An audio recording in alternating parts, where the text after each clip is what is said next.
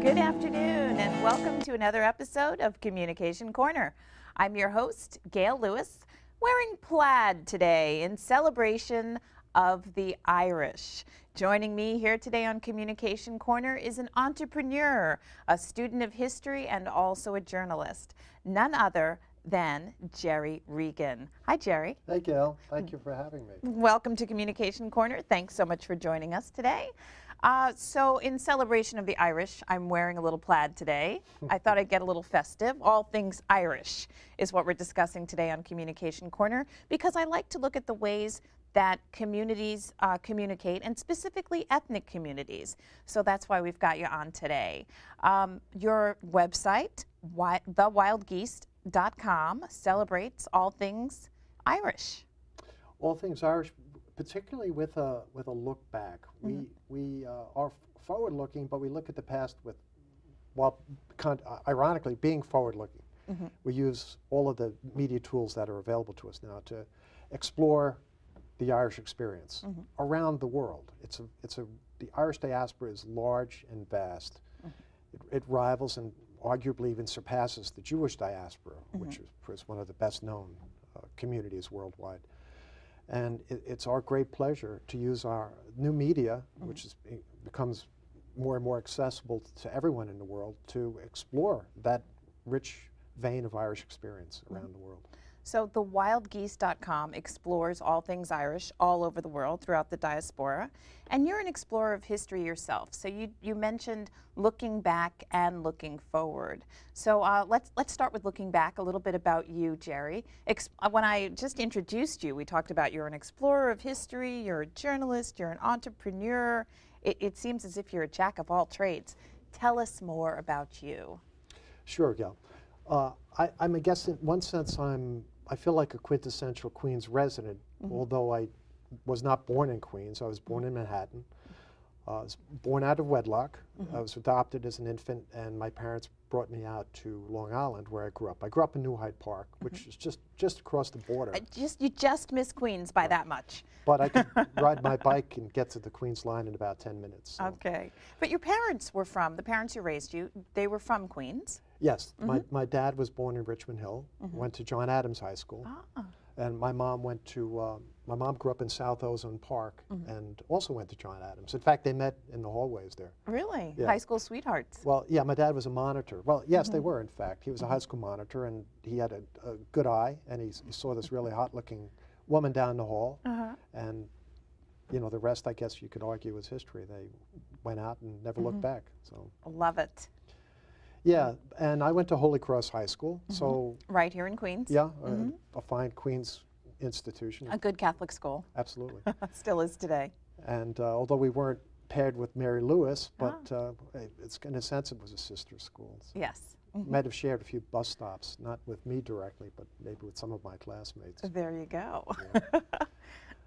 But we had quite a we had quite a few Irish kids in, in Holy Cross. No surprises. I'm sure you had Irish classmates or people kids of Irish ancestry in in, in Mary Louis. Uh-huh. Uh, It's a when you look at Ireland, which today is a population of four million people on the veritable fringes of Europe, and look at the impact it, ha- it has had. This nation has had on on cultures and the destinies of so many nations. It, it just cries out for exploration, which is what we do with the Wild Geese every day. So there's 4 million Irish actually living in Ireland. Yeah. It seems as if there's 4 million Irish, Irish living in New York City. Well, when I was in when I was a student in Trinity College, Dublin, 1973, there was a, a joke. It went something like, uh, "What's the capital of Ireland?" And the answer is Liverpool.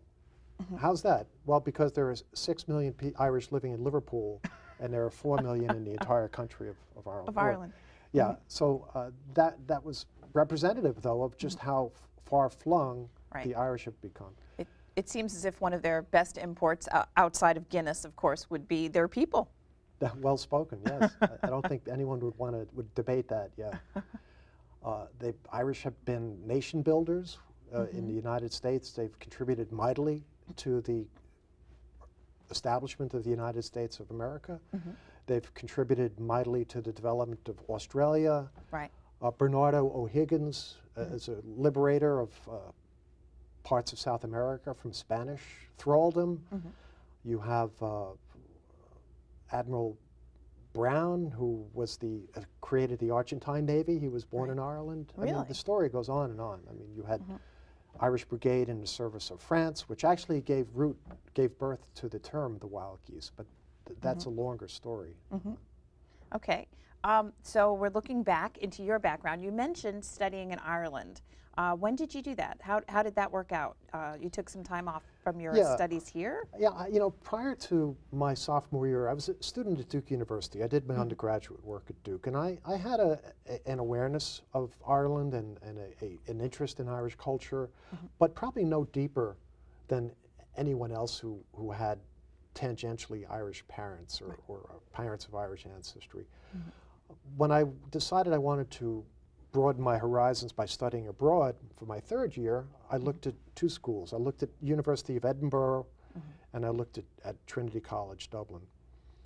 I, not coincidentally, I, had- I had seen the movie um, Pride, Pride of, Prime of Miss Jean Brodie at the time, and Edinburgh, I was enthralled at the beauty of Edinburgh, which was the, the architecture, the rolling hills out, outside of the just the sheer lyricism Yeah. of, uh, and it was a beautifully crafted film. And then, uh, to make a longer story shorter, I was not accepted at the University of Edinburgh, so, Oh, but I was accepted at. Trinity College Dublin. Blessedly, I had just seen the film Ryan's Daughter by the great filmmaker David Lean, of Dr. Zhivago. Yes, yes. And I, I fell in, I quickly transferred my love from Edinburgh to Dublin. Okay. that hence led to my now six, a 40 year adventure with Irish culture. Wow. So you went abroad. You spent your junior year abroad in um, uh, in Ireland, Mm. and you came back a changed man. I think I came back with a more mature, I would say, with a broader, less, more, more adult-like perspective. I think like a, like a lot of ch- children of the middle class, uh, especially the white middle class, I was given a lot. Uh, In, a- in one sense, I was spoiled. The, the real sense of struggle wasn't, wasn't there for me. So in being away from home, uh, all of the influences, the, the, the pampering and the helicopterism that Right. was seemed part and parcel of so much of my childhood. Uh, mm-hmm. yeah, I, I, I just found I, I had a stronger sense of who I was and what I wanted to do with my life. When you came back. But that's an ongoing process. I, I still wonder what I'm going to do when I grow up. So I'm, mm-hmm. I'm a, I, what I, I'm always drawn to the childlike aspects of, of, of each of us, you know. I think mm-hmm. we're all big, big kids at heart. And I never want to lose that, I love that. That is great. So when you grow up, one of the things that uh, that you're doing as as more of a grown up, I don't want to say that you're grown up yet. I'm still going to give you plenty of room to grow. Oh, thank you. But uh, uh, one of the things that you're doing as a grown up is thewildgeese.com, and that celebrates Irish history, Irish culture. Would you say? Um, how would you categorize the website, thewildgeese.com? Well, all right, the Wild Geese is a social network devoted to exploring and celebrating, that's important, the experience of the Irish worldwide. As we've discussed, the, the Irish have struggled uh, to get a foothold in virtually every land that they've settled and done so with admirable success, with notable Absolutely. success. They've become pioneers and innovators in virtually every field of human endeavor technology, uh, the arts, uh, theater, Uh, the list goes it- on and on. it- right. It's it's an it's an it's a nearly endless array of accomplishment, Mm-hmm. and it's a it's a focus rife for exploration, which we endeavor to do every day, Mm-hmm. 24/7, 365, with the help of online technology, Mm-hmm. new media, if you will. right. And how did the idea for the wild geese come about? I actually was one of my passions, which we, we haven't really explored, Mm-hmm. was reenacting or living history. I, I've, I've always felt that a valid way of exploring the past is by donning its material culture, and that Right. would be the clothing. Mm-hmm. In, the, sen- in, the, in, the, in the instance of a, of a soldier wearing Mm-hmm. the, with the weaponry. And for people who are not familiar with reenacting, just just explain exactly what it is. Well, reenacting is an attempt to portray a particular facet of the past. Right. It could be a military experience, it could be a civilian experience. Those are the more common. Avenues for reenactment. The idea of colonial Williamsburg comes to mind, uh, uh, places like that that just kind of uh, live the history, Sure. if you will. Yeah, and historical sites increasingly are adding that to their mix to attract audiences. It's not only more colorful, but it's more appealing for, for tourists to visitors to get a, a more visu- visual right, sense of what, what people wore and what they did back then and Churning the butter and, and yeah, doing those actual uh, things that you would do uh, back in the day. So to Mm-hmm. your question, I, I Uh-huh. was astounded in 1996 to read in the New York Times that there were people reenacting the American Civil War. I, Yes. I'd never heard of it. I'd never encountered it. Civil War reenactors, alive Yeah. and well, yes. So uh, actually, that was 1986, Mm-hmm. and I decided to explore that. So I got involved in Civil War reenacting, and I thought Mm-hmm. this was very exciting uh, to portray period people who've long been long gone to, to become them in a sense, or to try to from the skin out, Mm-hmm. Right. and employ all of my senses, not just the intellectual, Right, but, But your the tac- the tactile, tactile. exactly. yeah. and the the the physical, uh, the, the mm-hmm. even straining to carry a rifle for a long distance or Right. to ride a horse, mm-hmm. things that people took for granted back in the day. Mm-hmm. I was constantly gaining insights as to what it was like to have been involved in the American Civil War. So I met a, I met some colleagues who shared my interest in Irish culture through Civil War reenacting, and we Joe Gannon became my partner in the Wild Geese, and as we grew older, I became less involved in reenacting, and I gave more of my attention to the Irish role in world history, and mm-hmm. that's been largely my uh, prime focus, not the exclusive focus, but the prime focus for me. In, mm-hmm. Since really we launched Wild Geese as a veritable labor of love, really. It was, mm-hmm. it was an online magazine for its first 16 years, uh, which basically is a one-way conversation. We Right. would we would put stories in Put front of content out, right.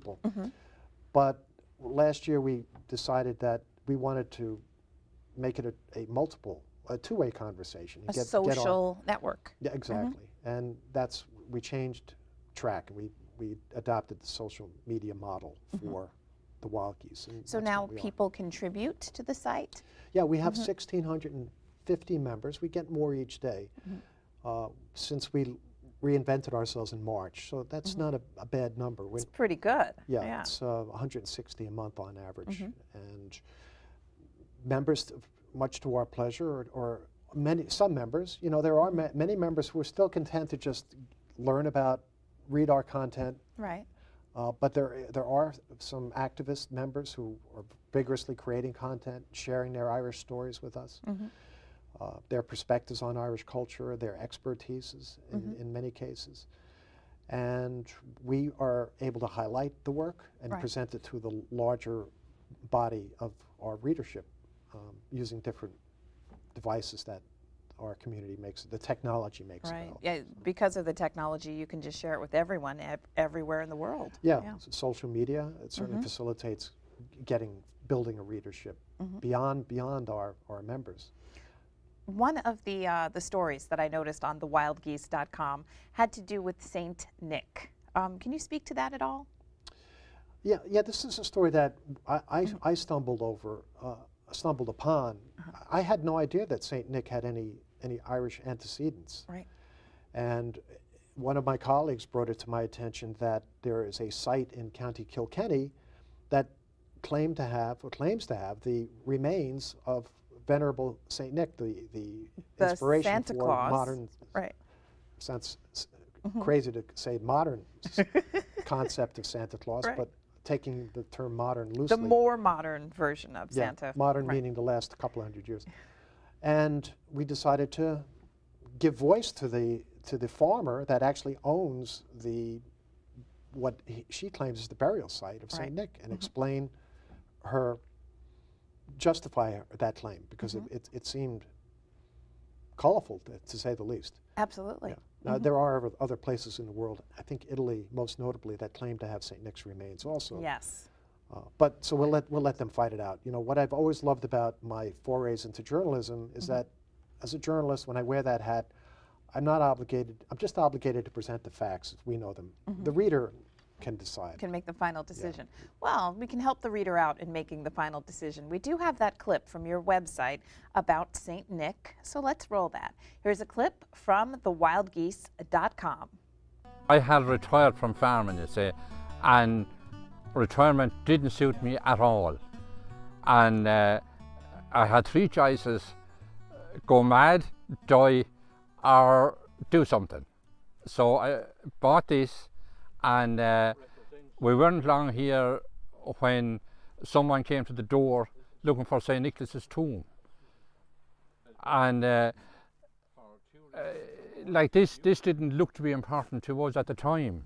I thought the field here where the town was would be ideal for wintering cattle, and uh, it would be totally lost only for the Heritage Council. And they came along and they were very cooperative, very easy to work with, and they wrote uh, a preservation book on it. And it's only then we really realised what we had. Medieval historian and abbot of Glenstal, Mark Patrick Hederman, said the first time he saw the grave at Newtown Jerpoint, he felt the presence of St. Nicholas. He's the patron saint of generosity and philanthropy. I'm certain he is present here, and that the people of this country are meant to take notice of that and be attentive to his presence because he's a very important saint. He is actually venerated in both parts of the church, that's to say, the Orthodox and the Catholic, long before the Protestant Reformation. So he's a Christianity which belongs to ancient Celtic Christianity and it's ecumenical, it's with all Christians. St. Nicholas, said to be the inspiration for Santa Claus, died in Myra in Turkey in 343 AD. So, how did his remains arrive in Kilkenny? The Middle Ages were absolutely obsessed about relics, and the Normans were plunderers, and they just they took graves because they wanted saints who were the most important saints to be where they were establishing monasteries, and they established the monasteries to keep the people under control.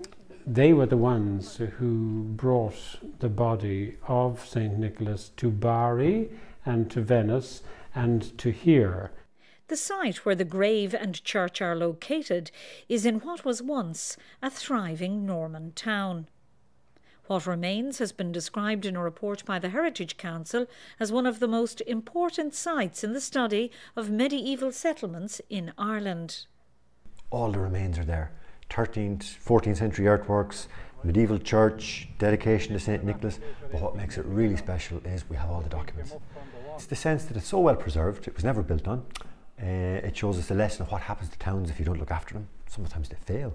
And there's a huge amount of knowledge and learning just ready and waiting to be untapped. If you go to the graveyard, you see the supposed tomb of St. Nicholas. So that was our clip about the uh, about Saint Nick. So I guess short of uh, DNA testing, we'll never really know. Uh, no, well, I, I certainly have it. You know, again, what I what I love about what I do is I don't. It's not on me to launch an investigative piece. you know, uh, maybe there are journalists out there that would like to get to the bottom of it. Maybe we can send Geraldo Rivera or you, you know, l- l- we, we try to cover a broad swath of Irish culture. Right. And if there are people, and typically they're academics who want to mm-hmm. explore in more depth, mm-hmm. we welcome that. And we'll invite them to come into our community and share their Right. findings with us. That, mm-hmm. That, that's the dyna- dynamic that we're looking to create.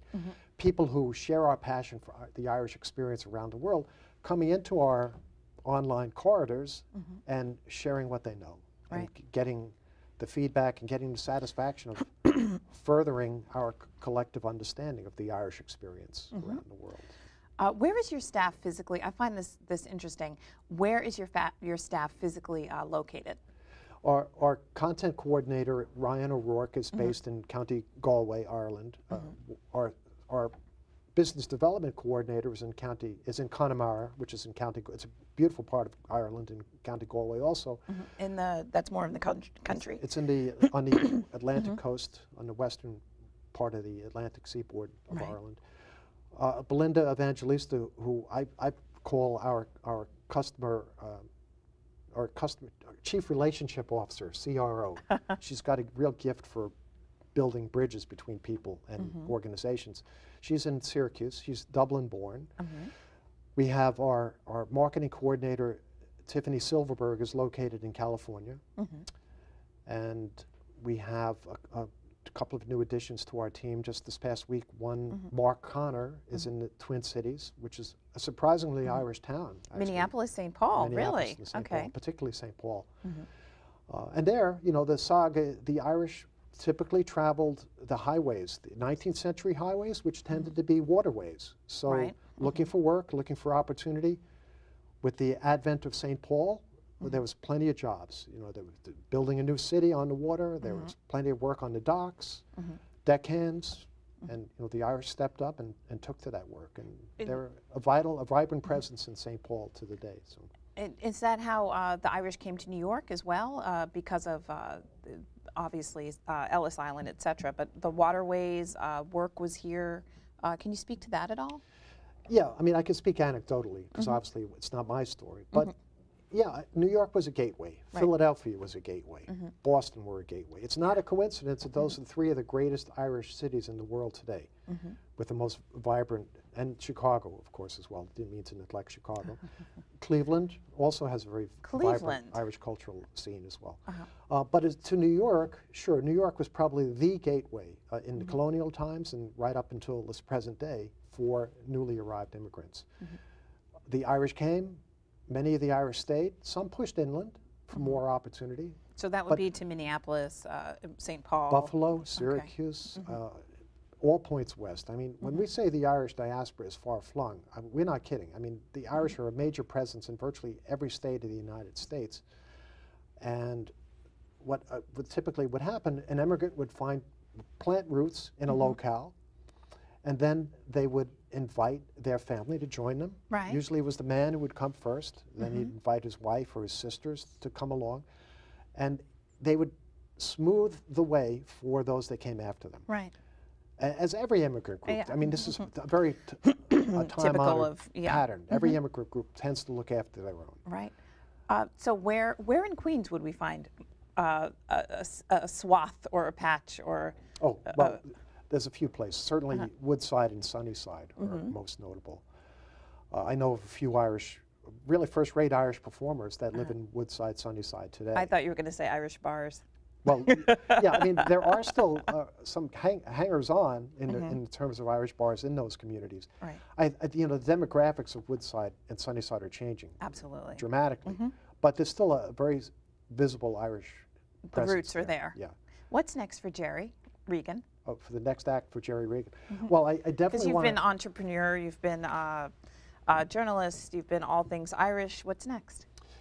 Well, I've got- Historian. I, I, definitely want to take the wild goose to the promised land, which is Mm-hmm. profitability and sustainability. Uh, that accomplished, I, I have a, a great story, a family history story that I think has a lot of cinematic possibilities. all right. So a book, then, of course, a movie. And I'm, and interestingly enough, and esoterically enough, I'm also hugely interested in the history of New Hyde Park, where I grew up. Okay. Is it historically, um, excuse my ignorance, is it historically Irish? No, not at all. Okay. But it's to me, having grown up there, it's a fascinating phenomenon. Right. Uh, as an example of, of the advent of suburbia, Right. and as an as an example of how people adapt to changing circumstances. American history is, is implicit in that story. Uh, wars, conflicts, economic difficulties, depressions. And if you look hard enough, in any community, it could be uh, the, the community you grew up in, Cambria Heights.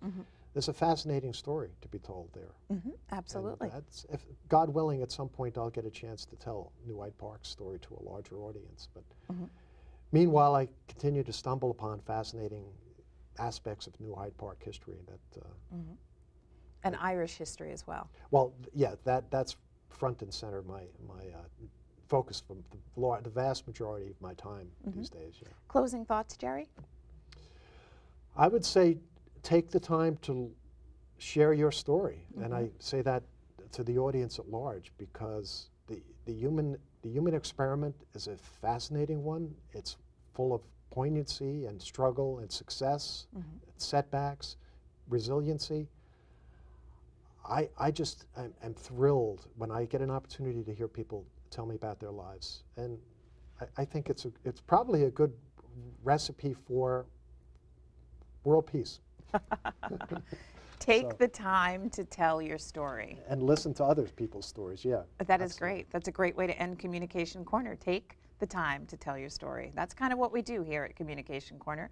Tell the stories um, and communicate them to the greater Queens world at large. Thanks so much for sitting down with us, Gerry Regan. great pleasure. thewildgeese.com. For more information about Gerry, you can go to the site, thewildgeese.com. Can they email you as well? Absolutely. Yeah, it would be Ger, G E R, at thewildgeese.com. Okay. That's G E R, not to be confused with the other Jerry Lewis, which Okay. yeah, G- G E R. G-E-R at thewildgeese.com. Are you guys on Facebook or anything as well? Absolutely. Mm-hmm. Yeah, we mm-hmm. 5,000 strong. Oh, on Facebook. Yeah, so mm-hmm. there's a lot of ways people can connect with us. Gail. Okay. So connect with Gerry, thewildgeese.com. Look for him on Facebook as well at The Wild Geese on Facebook with 5,000 people strong. And of course, thanks so much for joining us here on Communication Corner. As always, I'm your host, Gail Lewis. Feel free to email me, newday2010 at yahoo.com. Read my blog, I don't have issues.com. and of course, tune in at Communication Corner the next time. For everyone here, thanks for watching and have a great night.